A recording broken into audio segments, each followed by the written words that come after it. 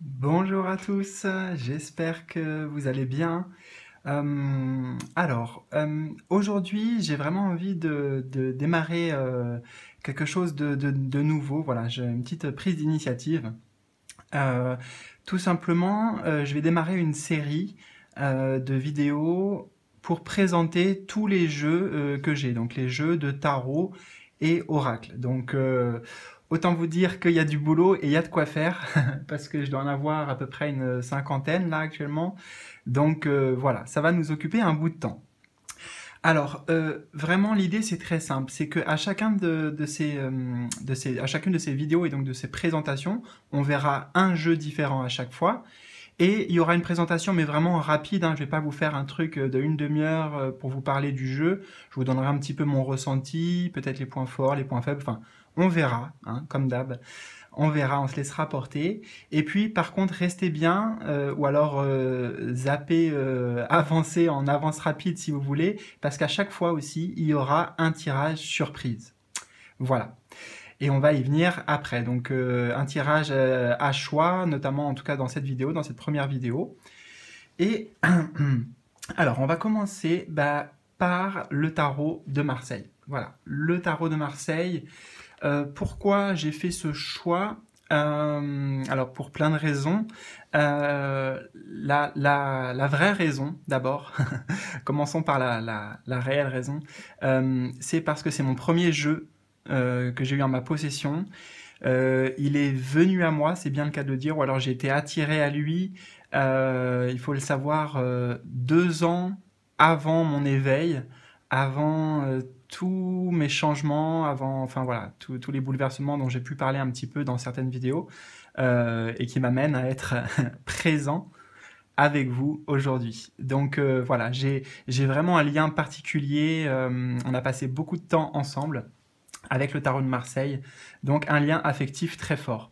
Et au-delà de ça, bah écoutez, le tarot de Marseille, c'est un des tarots les plus connus, on peut dire que c'est une référence aussi, bien sûr, euh, très très très utilisé, très commercialisé, donc vous le trouvez partout, il y a plusieurs versions, d'ailleurs celui-ci là que j'ai en- entre mes mains, c'est celui de Jodorowsky et euh, Camoin, Euh, donc euh, voilà, un petit peu avec des petites touches de modification très légères. Voilà. Alors, qu'est-ce que je peux vous dire sur le tarot de Marseille? Alors, avant de commencer, ce qui est intéressant, c'est que dans la série des tarots, là, on va parler donc des tarots. Tous les tarots euh, ont une structure commune. Et ça, c'est un point fort, c'est quelque chose qui est intéressant. Pour faire très simple, pour ceux qui ne le savent pas, les tarots, ce qu'on appelle un tarot, c'est composé de 78 cartes. Dans ces 78 cartes, il y a des arcanes dites majeures, donc euh, celle-ci, voilà, numérotée euh, de 1 à 22. Enfin, il y a 22 arcanes majeures, mais il y en a certaines qui n'ont pas de numéro, mais qui font partie des arcanes majeures quand même. Voilà. Euh, donc comme ça, je vous laisse découvrir un petit peu, d'accord? Donc les arcanes majeures. 22 arcanes majeures qui vont représenter en fait, dans leur symbolique, euh, les grandes étapes de la vie de la vie et du développement personnel aussi.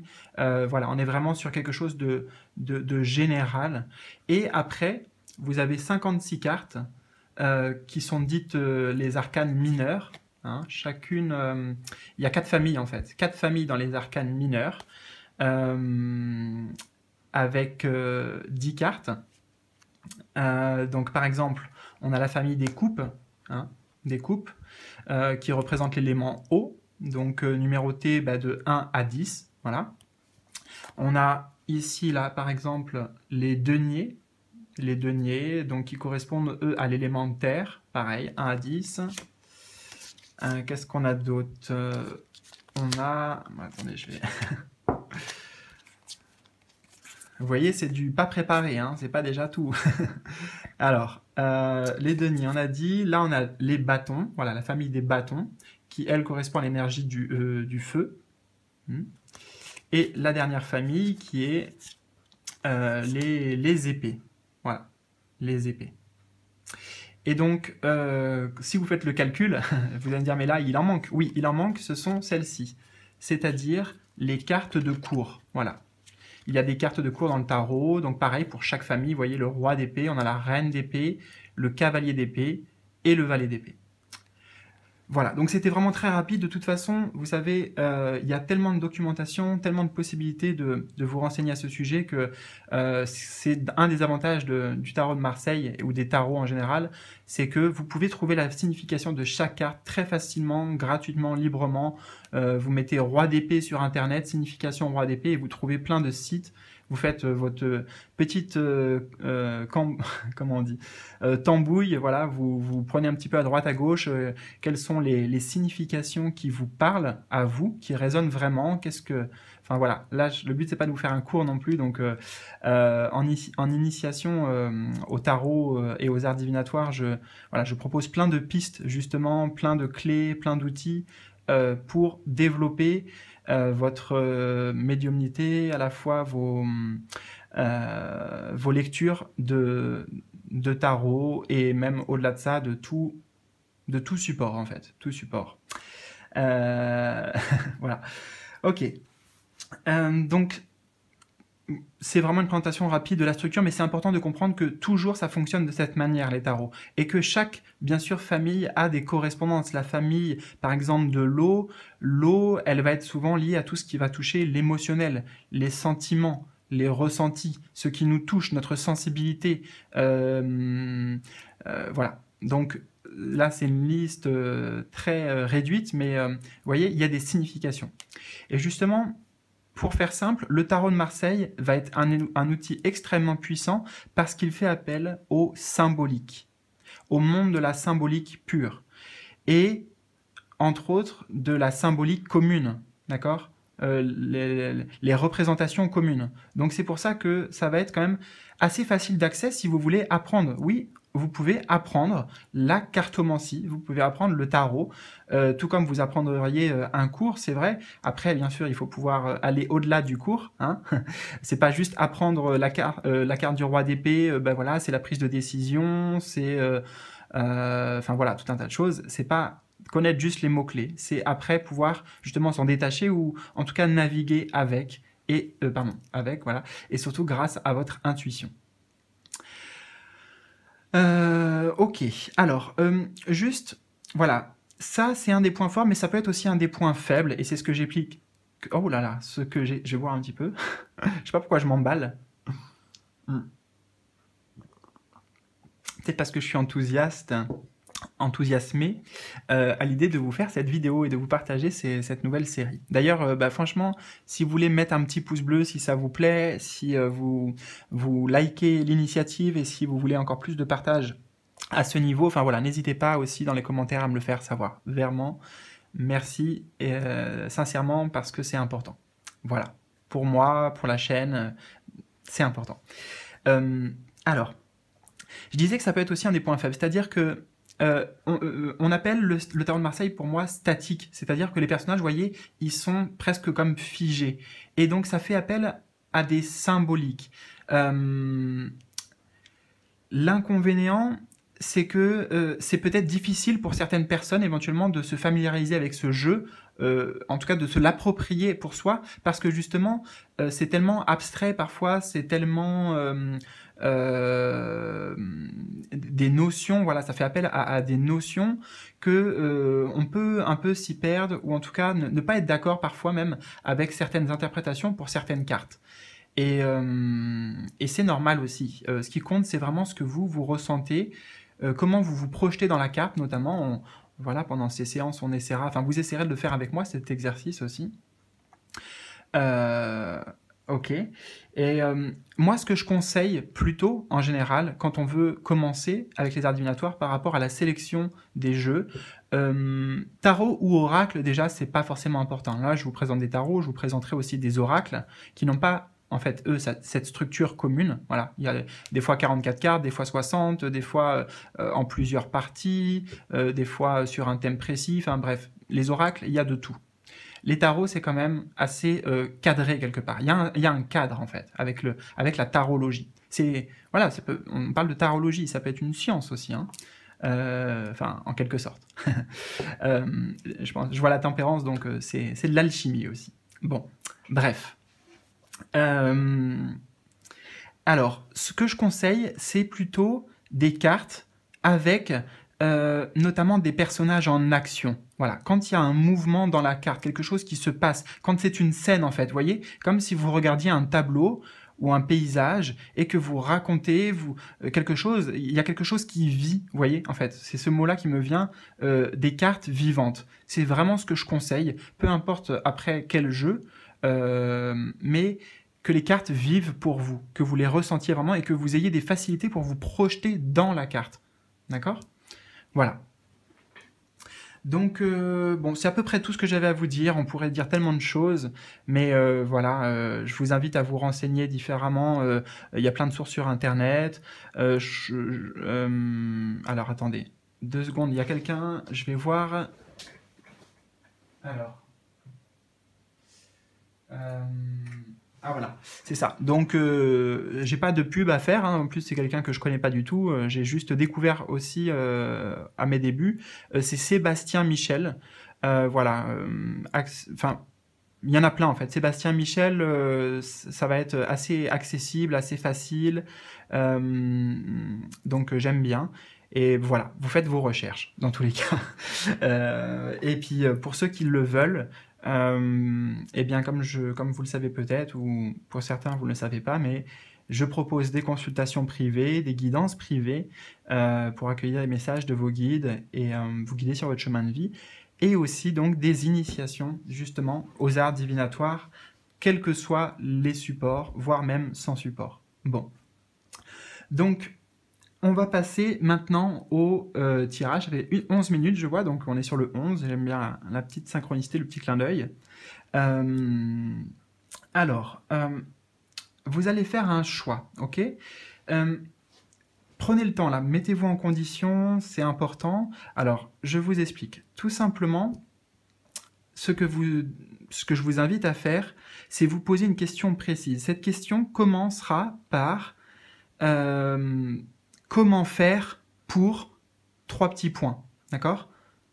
Peu importe ce que vous voulez, euh, j'ai pas mis de limite. Donc juste, par contre, s'il y a une direction, c'est ça. Dites-vous comment faire pour, et puis je sais pas moi, comment faire pour obtenir ce job, comment faire pour euh, mettre en place ce changement, comment faire pour me débarrasser de, voilà. C'est vous qui, comme on dit, fill the blank, euh, vous remplissez les, les trois petits points parce que vous voulez, d'accord? Donc on va vraiment obtenir aujourd'hui des réponses sur ça. Comment faire pour, ou alors peut-être quel état d'esprit est conseillé, quel est le conseil pour moi pour, voilà, pour, encore une fois, ce que vous voulez, bah, quelque part, obtenir. OK? Donc, posez-vous bien avec cette question intérieurement. L'avantage ici, c'est qu'il y aura un choix, donc vous pouvez en poser plusieurs. D'accord? Vous pouvez poser plusieurs questions différentes sur des domaines différents même. Voilà. Et donc, pour faire votre choix, j'ai rien mis de spécial. Euh, je vais enlever ces cartes d'ailleurs pour pas vous perdre un, petit peu. Hop, voilà. Alors.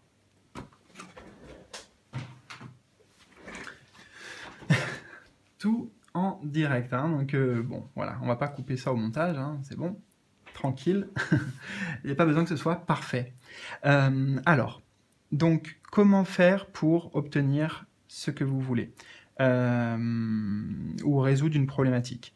Donc, on a juste le chiffre 1, 2, 3, 4, 5.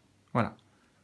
Donc faites votre choix peut-être instinctivement, directement, euh, s'il y a un tas qui vous attire, ou alors avec le numéro, avec euh, ben voilà, ce que vous voulez.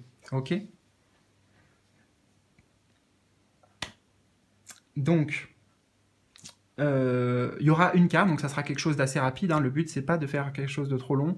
J'ai déjà bien parlé pour la présentation, mais bon, le, tarot de Marseille, c'est important de prendre un minimum de temps.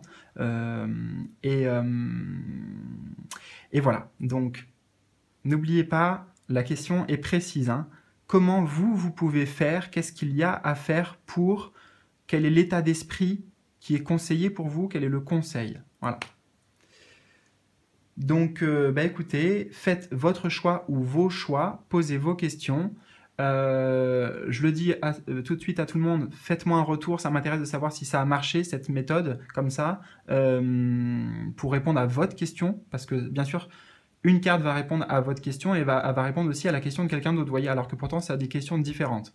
Donc, ça m'intéresse vraiment d'avoir des échanges à ce niveau-là, entre vous, entre nous, et, et un retour. OK? Alors, c'est parti, on va commencer avec le tas numéro 1. Alors, pour vous qui avez choisi le 1, donc comment faire pour? Eh bien, vous avez l'empereur, le, numéro 4. Donc je vous laisse quelques instants pour vous imprégner de la carte. Projetez-vous dans la carte, projetez-vous dans ce personnage. Vous-même, vous pouvez accéder à votre intuition et obtenir les réponses. Donc je vais en même temps que vous, vous voyez, prendre le temps aussi de me connecter, de me laisser écouter, ressentir les choses. Alors, on a l'empereur. Comment faire? L'empereur, qu'est-ce qu'il représente? L'empereur, c'est celui qui gouverne déjà. C'est celui, c'est le roi si vous voulez, c'est l'empereur, c'est celui qui prend des décisions euh, responsables, assumées, euh, avec euh, voilà avec ses valeurs, avec ses, avec ce qu'il défend. Hein. L'empereur, c'est aussi, j'entends le mot ici, la protecteur. Donc il y a cette idée là par rapport à votre question. D'accord? Donc, de prendre les choses en main, parce que l'empereur, c'est celui qui est aux commandes, c'est celui qui dirige, c'est celui qui passe à l'action. Hein, on est vraiment dans le faire ici, avec le chiffre 4 en plus, en numérologie, qui va être le chiffre de la matérialité. Acter des choses dans le concret, en prenant des décisions concrètes, fermes, avec fermeté, mais avec, euh, avec en même temps amour. C'est pas euh, fermeté, euh, je sais pas comment vous exprimer ce que je ressens. avec fermeté, j'ai envie de dire avec soi-même, c'est-à-dire par rapport à, nos, à, nos, propres valeurs aussi. Hein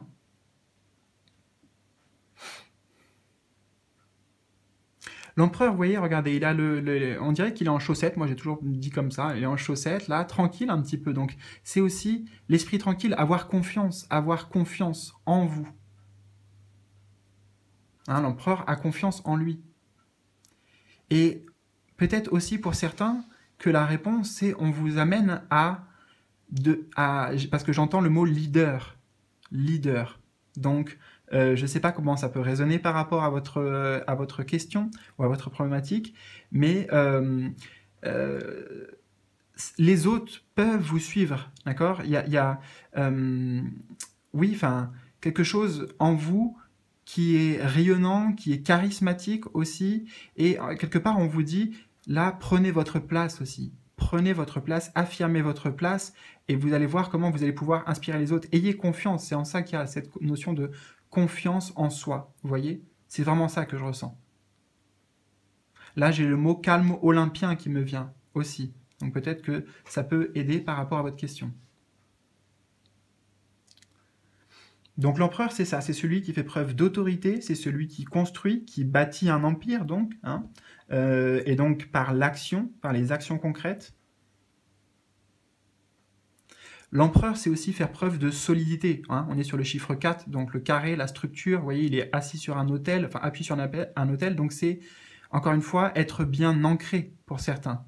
Bien ancré, faire preuve de, solidité, et j'ai pas dit rigidité, dans certains euh, aspects négatifs de l'empereur, peut-être il y a trop de rigidité. Là, c'est une solidité, solidité sur les appuis, sur donc symboliquement aussi vos convictions, vous voyez, vos valeurs. Alors, comment faire pour l'empereur?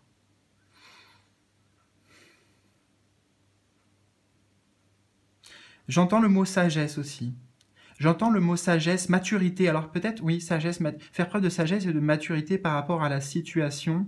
C'est-à-dire que euh, l'empereur, il n'est pas né empereur. Là, moi en tout cas, c'est comme ça que je le ressens. Il n'est pas né empereur comme ça. C'est-à-dire qu'il a, il a, il a, il a galéré pour moi pour en arriver là. Euh, c'est pas du tout cuit.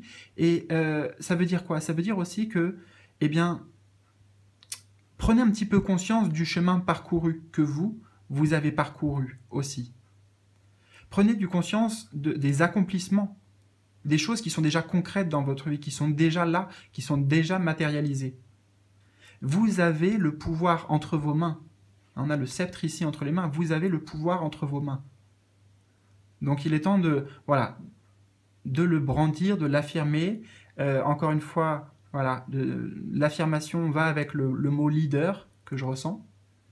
Esprit de leader peut-être.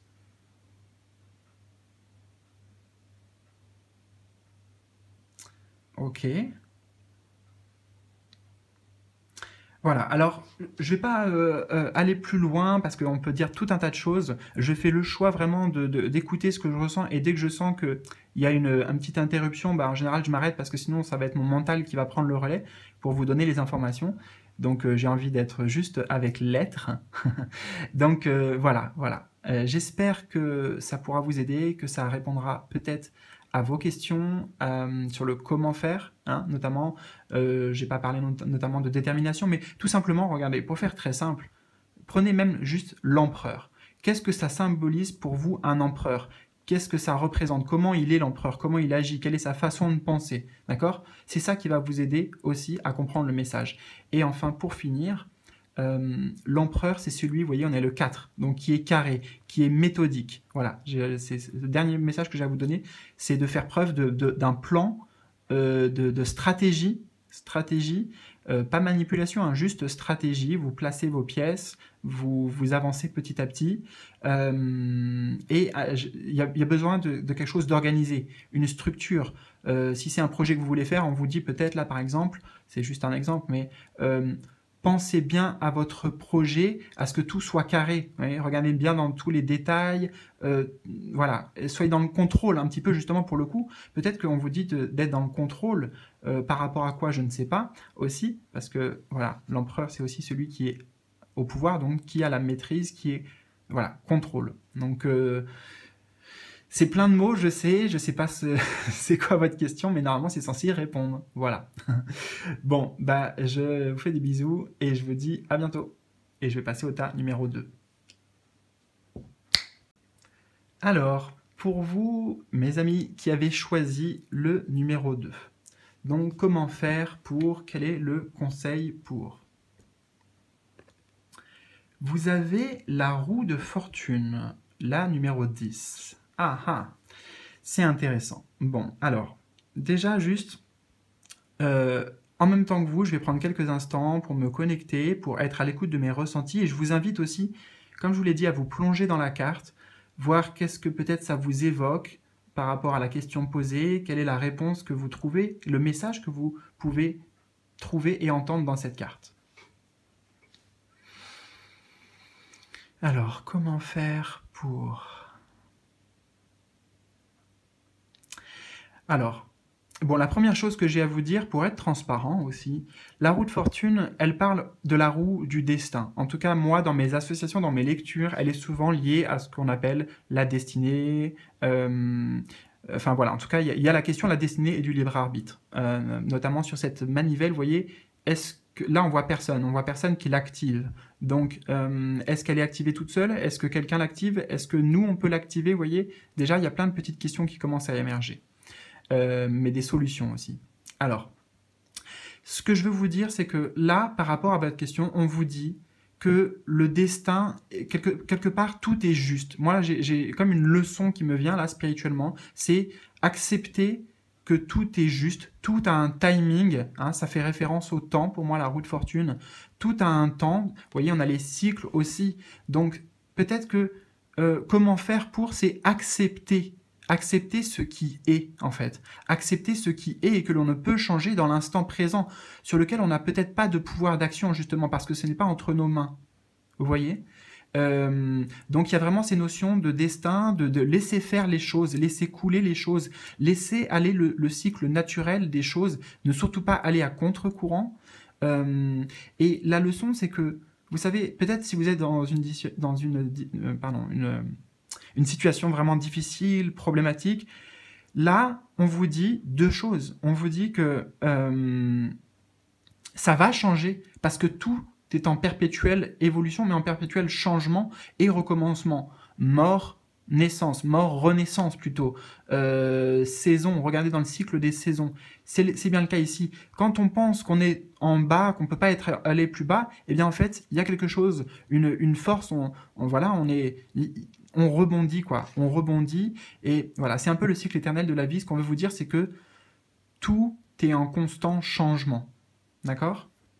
Donc, si je prends aussi ce mot de changement, peut-être que ça veut dire tout simplement qu'il y a des changements importants à opérer d'accord euh, Que vous, vous pouvez opérer. Là, il faut un changement, euh, voilà, il faut changer de cycle, peut-être. Hein euh, oui, c'est ce que j'entends, changer de cycle ou rompre un, rompre un cycle, par exemple un cycle karmique, parce que pour certains, dans votre problématique, il y a comment dire ça?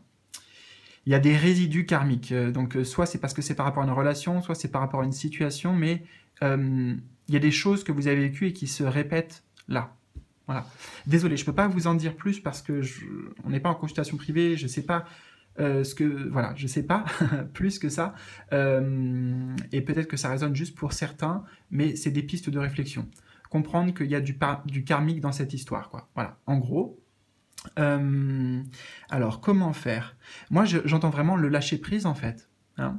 comment faire là par rapport à votre question C'est eh bien lâcher prise, accepter, accepter que les choses sont comme, comme elles le sont en fait, hein, à l'instant T, mais en sachant pertinemment, en ayant confiance. Et quelque part, vous n'avez même pas à faire quoi que ce soit par rapport à ça, c'est-à-dire par rapport au changement, hein, parce que tout est question de changement avec la route fortune. On désire un changement, un changement va arriver, un, un nouveau cycle pour vous, voilà, toutes ces notions-là. Mais il y a vraiment la forte quand même connotation avec la route fortune que ce n'est peut-être pas entre vos mains directement, hein, mais plus entre les mains de, bah, de l'univers, tout simplement, ou de la vie, si vous voulez, de Dieu, de... Bon, voilà.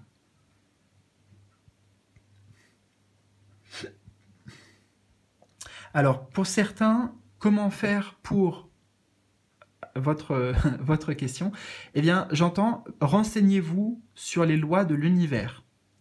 Alors, notamment, vous savez, une des plus connues, la loi d'attraction, euh, je les connais même pas, moi, vous savez, en fait. je les connais même pas. Euh, pas toutes, en tout cas. Donc, euh, voilà. Pour certains, on vous dit, renseignez-vous sur les lois de l'univers, et en particulier, en effet, sur la loi quand même d'attraction. C'est-à-dire, euh, parce qu'en fait, j'ai l'effet boomerang qui me vient là en tête. Donc, c'est-à-dire, alors, attendez, on va me le transmettre. S'il vous plaît, les guides, c'est-à-dire... en fait, effet boomerang, ok, il y a toujours un retour de nos actions, de nos pensées, de, tout ce que, l'on émane, de tout ce que l'on vibre. Euh, eh bien, c'est jamais perdu et ça amène toujours quelque part des conséquences. Voilà. Euh, positives ou négatives, hein, attention, enfin, il n'y a pas de... Voilà, là, je suis pas en train de faire un tableau négatif du tout. Voilà, alors est-ce que éventuellement j'ai d'autres choses à dire? Bah oui, non, pour moi, je, voilà, c'est, je m'arrêter là, parce qu'après, justement, comme je le dis, ça serait le mental qui interviendrait. Mon premier ressenti, c'est celui-ci. Hein. Faites confiance au destin, faites, faites confiance euh, au, cycle naturel. Ne luttez pas contre-courant. Voilà, s'il y a des choses qui doivent que vous devez laisser aller, qui doivent partir, euh, il y a un changement, voilà, un, changement professionnel, il y a un changement au niveau de votre vie sentimentale, au niveau de votre foyer. Bon, oui, c'est vrai. Voilà. Bon, eh bien, juste sachez que vous allez euh, euh, reprendre du poil de la bête. Je vois que des bêtes, donc voilà, du poil de la bête. Voilà, bah écoutez, euh, j'espère que ça vous aura aidé, que ça vous aura parlé. Euh, c'est assez court, je sais, c'est volontaire aussi. Euh, laissez-vous aussi porter par ce que vous, vous ressentez par rapport à la route 14. Je le précise, alors oui, allez, un dernier message quand même qui me vient. merci.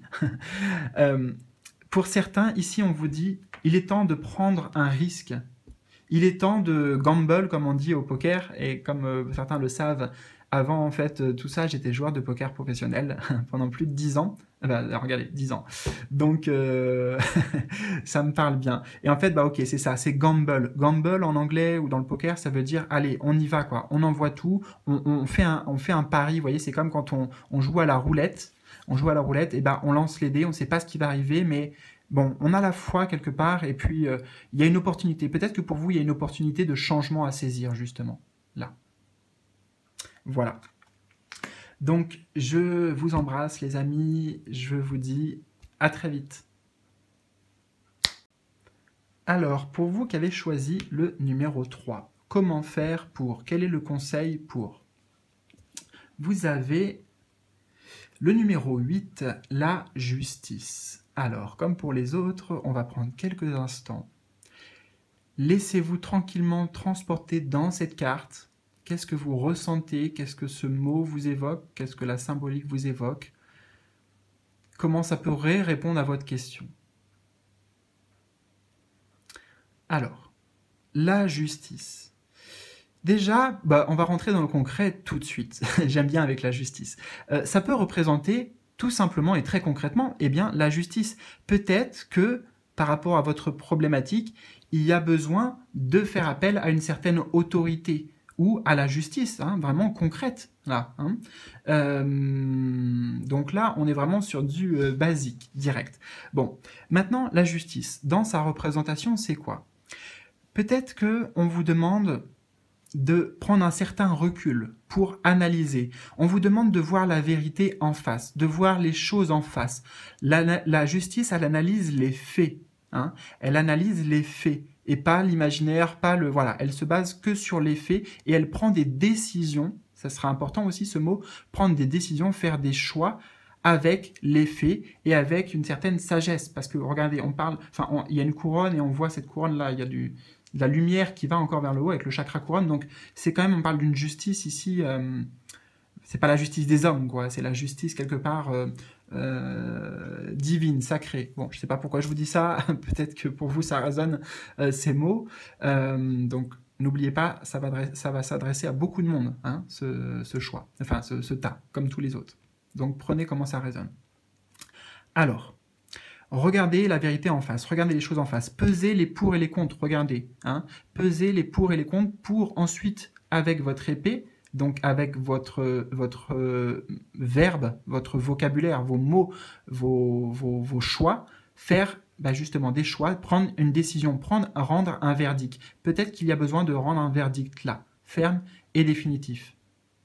Mais malgré tout, vous avez quand même beaucoup d'éléments en main. La justice, elle ne peut rendre une justice et elle ne peut rendre un verdict que si elle a des éléments. Donc, quelque part, là, on vous dit que vous avez des éléments pour régler votre, problématique ou en tout cas euh, trouver euh, voilà, une solution. Hein. pour moi, la justice aussi, là, j'entends par exemple, euh, comment on dit ça en couple là, euh, enfin voilà, quand il y a un conseiller, euh, ah, je me perds dans mon truc. Attendez, désolé. Euh, alors, on va redemander au guide, ça sera plus simple. Alors, voilà. alors, pour certains, on me dit compromis. Merci. Compromis, faire des compromis, des conciliations, faire la paix avec une personne. J'entends ces mots pour certains. Ok. Pour certains, cette carte va pouvoir résonner aussi avec vous-même. C'est important que vous soyez juste avec vous-même, que vous puissiez trouver un équilibre. Mais pour trouver un équilibre en soi et une paix en soi, c'est important d'être juste, d'être droit. Droit dans ses bottes, ça veut dire quoi? Ça veut dire juste euh, être authentique avec soi, ne pas se mentir à soi-même. Avec la justice aussi, hein, ça c'est clair, on est sur tout ce qui est, enfin, normalement censé être euh, la vérité, voyez, dans, son idée. Donc là, on vous dit vraiment de aussi peut-être euh, communiquer les choses, dites les choses juste comme vous les ressentez, éventuellement si votre problématique ou votre question parle avec une personne, c'est juste exprimer ce qui est juste pour vous. La justice, en fait, elle vous dit ici aussi, exprimez et faites ce qui est juste pour vous, par rapport à ce que vous savez être juste. Et quand je dis pour vous, j'entends aussi, hein, quelque part, pour votre bien. C'est pas pour le juste de la, planète entière. C'est qu'est-ce qui est juste pour vous vraiment dans votre, dans votre cœur? Qu'est-ce que vous ressentez? Hmm.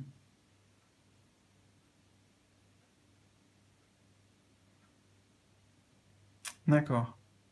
Mais vraiment, euh, je reviens sur cette idée de euh, là, il est, il est temps voilà, de prendre une décision. Quelque part, est-ce que c'est pile, est-ce que c'est face, est-ce que c'est noir, est-ce que c'est blanc, est-ce que j'y vais, est-ce que j'y vais pas? Voilà, euh, avec en pleine conscience, hein, j'entends vraiment ça ici, faire un choix en pleine conscience avec tous les éléments en main.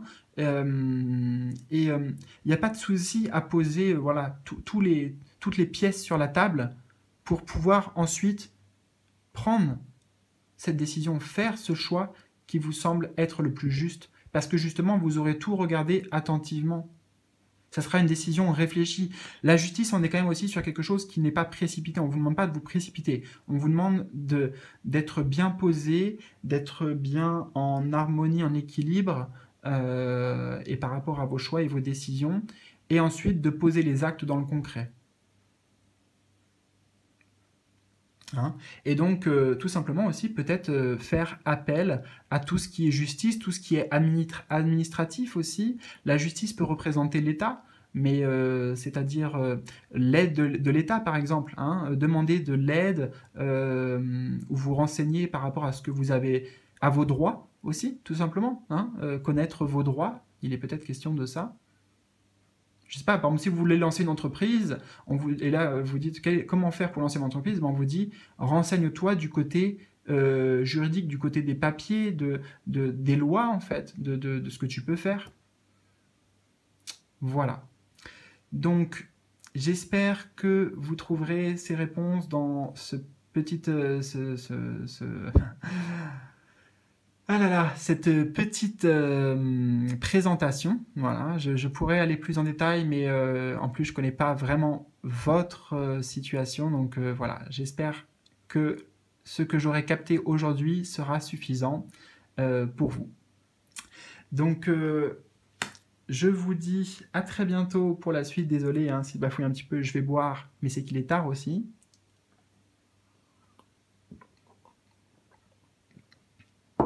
Et je parle beaucoup en plus. c'est surtout ça. Voilà. Donc, euh, je vous souhaite le meilleur et je vous dis euh, à très vite les amis. Bye bye.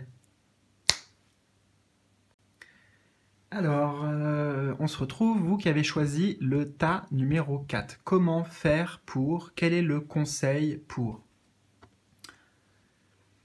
Alors, vous avez l'arcane numéro 13 qui n'a pas de nom donc on l'appelle l'arcane sans nom. Parfois on l'appelle aussi euh, la mort, euh, donc symbolique. Alors, bon, on va rentrer dans le vif du sujet. C'est une carte souvent qui fait peur, euh, en tout cas, voilà, dans l'esprit commun, cette carte dans le tarot, soit c'est une mauvaise carte ou quoi. Donc là, il n'est pas question de bien ou de mal déjà, hein, parce que le but c'est un conseil. Vous voyez, donc déjà, quand on pose une intention et qu'on demande au tarot voilà, comment faire pour ou qu'est-ce qui peut m'aider, bah ils vont pas vous dire quelque chose de mal. Il faut comprendre quel est le message derrière. Donc, avant de vous dire tout ce que je ressens, prenez juste quelques instants avec votre question, voyez cette image et essayez de comprendre ou de ressentir surtout quel est le message dans cette image pour vous. Quelle est la solution? Comment faire? Vous pouvez y arriver tout à fait en intuitif, tout simplement. Vous ne pouvez pas vous tromper. Laissez-vous porter. Ok. Alors, comment faire? Bon, euh, pour moi, il est question de prendre une décision radicale. On voit surtout là la, la, faux en plus, euh, vraiment qui ressort en plus dans cette image-là. Enfin, en tout cas, pour l'instant, c'est ça qui me marque en plus avec ce rouge-là. Donc, il est question de, trancher. Hein. La faux, c'est fait pour trancher. Donc, trancher, c'est-à-dire prendre une décision, et c'est en ça que je vous dis radical. Avec l'idée de la mort, bah forcément, il n'y a plus de... Quelque part, on ne revient pas en arrière. Hein. On revient pas en arrière. Donc, euh, ça peut vouloir dire plein de choses, hein. ça dépend de votre question. Euh, c'est couper avec quelque chose. Hein. L'idée principale ici, ça va être de couper un lien, couper une attache, euh, couper, euh, se débarrasser de, se débarrasser de quelque chose aussi. Par exemple, ça peut être une addiction. Oups, pardon, une addiction. oh là là. Ok, d'accord.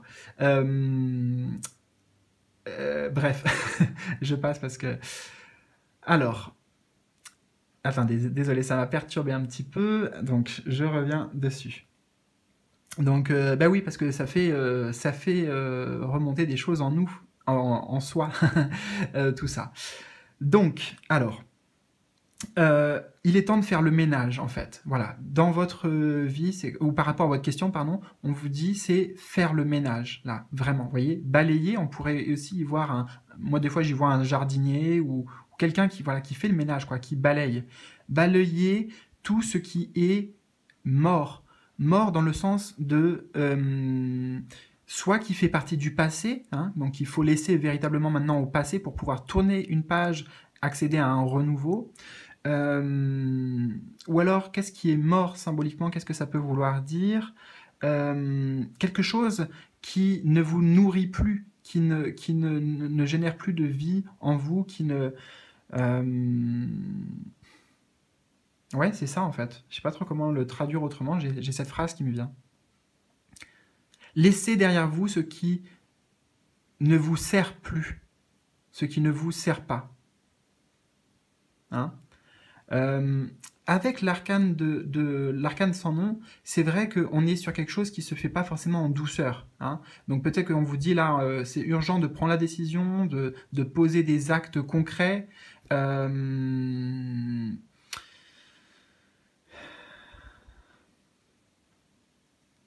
qu'est-ce qu'on vous dit d'autre?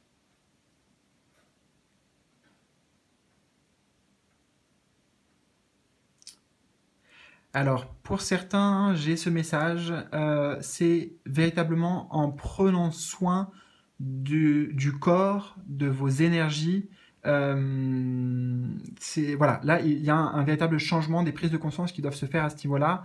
Euh, faire attention en fait. Alors attention, ah oui, euh, je suis en train de me rendre compte que ça pourrait être mal perçu ce que je vous dis. Il n'y a pas de mauvais présage dans ce que je vous dis. C'est juste que voilà, peut-être vous êtes fatigué ou stressé en ce moment ou par exemple au travail, je sais pas, proche du burn-out, éventuellement des choses comme ça. Donc là on vous dit juste il faut qu'il y ait un changement là. Il faut que les choses c'est pas justement dans le sens la mort, c'est dans le sens il faut que les choses s'arrête. Il faut euh, arrêter, il faut stopper quelque chose. Hein. Avec la mort, quelque chose doit s'arrêter. Hein. Pour beaucoup, il s'agit de ça. Donc je ne sais pas quelle est cette chose, vous me direz dans les commentaires. Mais l'arcane la, sans nom, c'est aussi représentatif d'une métamorphose, d'une transformation. Donc il y a peut-être quelque chose à, à transformer dans votre vie. Parce que derrière cette carte, derrière la mort, il y a toujours la naissance, ou plutôt la renaissance.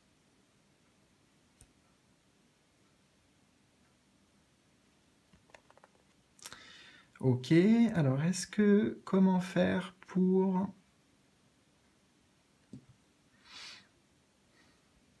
Oui, clairement, on me dit aussi, euh, là, euh, faut y aller franco, quoi. Hein. Faut y aller franco, faut prendre les choses à bras le corps, voilà, prendre les choses à, bras le corps. Euh, oui, peut-être que ça vous demande beaucoup d'efforts. Hein, euh, par, rapport à votre problématique ou votre question, ça demande un effort, c'est sûr, euh, qui peut vous paraître lourd, difficile, ou alors c'est une période lourde et difficile, mais vous avez la capacité en fait là de d'accéder vraiment à, un véritable renouveau. Hein. Clairement, c'est ce dont il s'agit.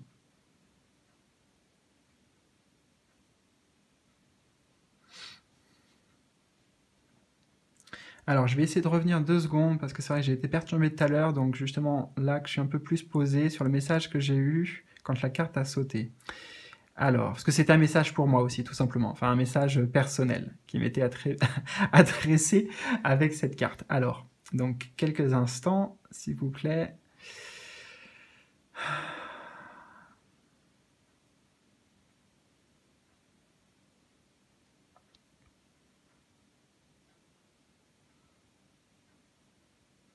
Oui, bah voilà, tout simplement. Hein. Il est temps de tourner une page. En fait, pour certains, il y a aussi le besoin de tourner une page pour votre plus grand bien. Hein. Euh, voilà, je ne sais pas trop quoi vous dire de plus parce que c'est vrai que c'est assez euh, délicat dans le sens où moi je ne connais pas votre question. Alors normalement, en partie, ça répond à votre question avec tout ce que j'ai pu vous transmettre, tout ce que j'ai capté là. Euh, voilà, j'aimerais bien faire beaucoup plus pour vous. Euh, parce que particulièrement pour vous qui avez choisi ce tas, je, je sais que l'énergie de l'arcane sans nom, on va pas se le cacher, c'est une énergie toujours qu'on traverse, si on la traverse, une énergie qui est difficile. Et là, si c'est un conseil sur ce que vous, on vous conseille de faire, forcément, ça va être quand même une décision ou des actions, des, des actes à poser qui sont quand même difficiles. Voilà, je, je le ressens clairement. Donc, euh, on, on, voit quand même, regardez, vous voyez, dans la terre, il y a des, des, des membres coupés, il y a du feu, il y a des têtes. Bon, hein, ça, peut symboliser quand même pas mal de choses. D'accord? Donc, euh, n'oubliez pas que c'est un message positif. Peut-être que c'est une, une, épreuve que vous redoutez ou que vous que voilà il y a quelque chose qui doit se terminer mais que vous appréhendez. Euh, moi là je vous dis clairement, véritablement, vos guides, ils vous disent que c'est pour un véritable renouveau, c'est pour le, c'est pour le plus grand bien, et ça doit être comme ça. C'est-à-dire que j'entends le mot c'est nécessaire. C'est nécessaire que ça se, que ça, que ça se passe comme ça à un moment donné, en fait, à un moment donné. Voilà. Peut-être maintenant, peut-être quand vous serez prêt, quand vous le choisirez. Peut-être qu'il y y a une question aussi. Voilà, il y a un mot. Excusez-moi, il y a une autre question qui. Ah, waouh. On va voir. Alors. On est en total freestyle ce soir, ouais, carrément. Donc, euh, alors, voilà, j'ai juste un mot qui vous vient aussi, qui me vient, c'est euh, inévitabilité. Voilà. Donc, euh, je ne sais pas comment ce mot aussi peut résonner avec votre question. Peut-être que vous pouvez me le partager dans les commentaires si c'est pas trop intime. Euh, bon, en tout cas, j'espère malgré tout que ça vous aura donné quelques indices, quelques éclairages. Je vous souhaite vraiment le meilleur, je vous envoie toutes mes pensées positives et je vous dis euh, à bientôt les amis. Prenez soin de vous. Bye bye. Alors, vous qui avez choisi le cinquième et dernier état, numéro 5. Alors, comment faire pour Quel est le conseil du tarot et de vos guides pour vous? Oh, vous avez l'amoureux, la carte des amoureux numéro 6.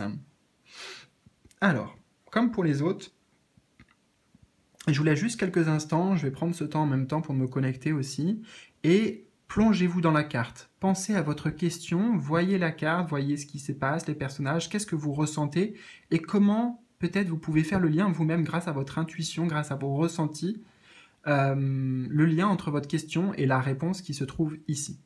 Ok Et après, je vais vous donner, moi, mes propres ressentis qui pourront vous, bah, vous donner des éléments complémentaires ou vous rassurer dans les vôtres. Ok, alors déjà, bah, pour faire très simple et très concret, on a l'amoureux. L'amoureux. Donc ça veut dire que peut-être comment faire pour? Eh bien, avec cette énergie de l'amoureux, d'amour en fait, en apportant de l'amour à la situation ou à votre question, en faisant preuve d'amour. Hein en exprimant peut-être votre amour s'il s'agit d'une personne. L'amoureux. Donc l'amoureux, c'est aussi celui qui suit son cœur, en fait, tout simplement. Il est là le message. Suivez votre cœur. Suivre son cœur avec passion. L'amoureux, il est dans un, autre état, dans un état second. Euh, retrouvez cet état, retrouvez cette connexion avec vous-même, avec votre cœur, pour avoir le message, en fait, justement, de votre cœur.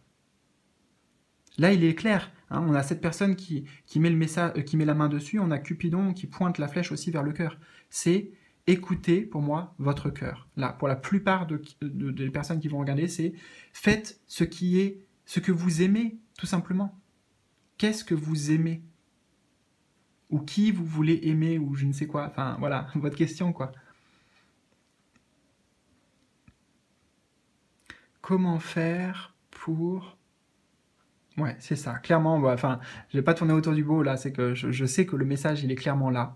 Être dans l'amour, exprimer l'amour, vibrer l'amour, quelle que soit la question que vous avez posée. Maintenant, on peut aussi, euh, j'ai un autre message aussi pour certaines personnes euh, par rapport à votre question.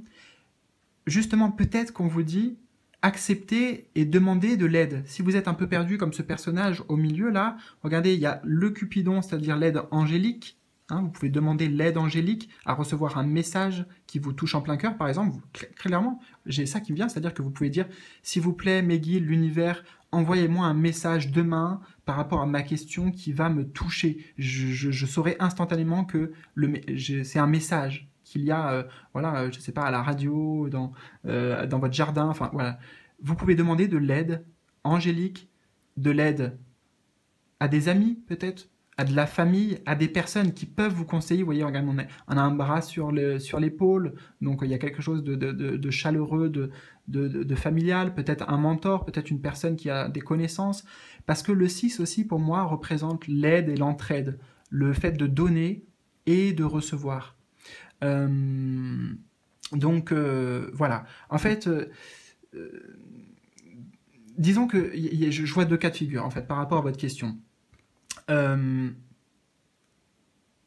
tout rejoint l'amour, l'amour, l'amoureux et votre cœur. Ça veut dire quoi? Ça veut dire que normalement tout le monde, vous en fait, qui êtes en train de regarder ce tas, vous pouvez dès à présent, tout de suite, maintenant dans l'instant présent, vous connecter à votre cœur et aller tout de suite chercher la réponse à votre question que vous venez de poser. Et vous l'aurez instantanément. Si vous le faites vraiment avec le cœur, avec l'intention, n'ayez pas peur, vous êtes guidé, en plus là je suis avec vous, et il n'y a pas que moi. Donc euh, voilà, posez-vous quelques instants, posez-vous cette question avec l'intention, avec le cœur, la question que vous avez posée en fait, qui est importante pour vous, parce que on est sur l'amoureux, donc ça veut dire aussi que voilà, c'est une question, je pense, empreinte de beaucoup de beaucoup d'émotions pour vous. Euh, ça relève d'un choix important, j'ai l'impression, ou d'une décision importante à prendre, parce qu'avec la carte de l'amoureux, il y a la, question du choix aussi. Euh, voilà. Et juste, en fait, faites ça, et juste, si vous n'y arrivez pas, si voilà, vous avez l'impression vraiment de ne pas vous en sortir, ne restez pas seul. Là, on voit plusieurs personnages sur la carte, c'est vraiment euh, entourez-vous de personnes qui sont là pour vous écouter, pour vous épauler, pour vous soutenir. Vous, pouvez avoir tellement de, guidance autour de vous et de personnes qui peuvent être là pour vous aider. Même si ces personnes ne sont pas là, il y a toujours celle-là. Hein. Le monde invisible, il est toujours présent. Il suffit juste d'y croire. Voilà. Donc là, c'est un petit rappel aussi pour ça. Et enfin, pour certains, j'ai un autre message. On vous dit, par rapport à votre question, il faut que vous vous reconnectiez à votre enfant intérieur, à votre âme, à votre liberté, à votre capacité à vous prendre les choix avec le libre arbitre, mais donc avec l'âme aussi, en accord avec votre, avec votre moi supérieur, avec votre... Euh, avec, euh, avec, oui, avec votre cœur, avec votre âme, en alignement avec vous-même, dans votre vérité, dans votre authenticité, véritablement du cœur, quoi.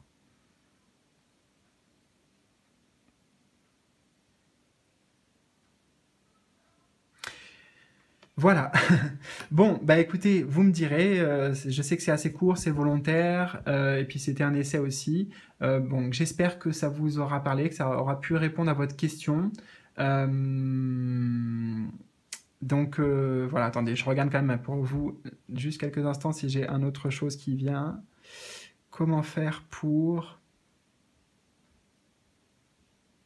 Non, c'est vraiment ça, voilà. Donc pour moi, l'essentiel du message est là. Si vous n'avez pas eu votre message, peut-être que...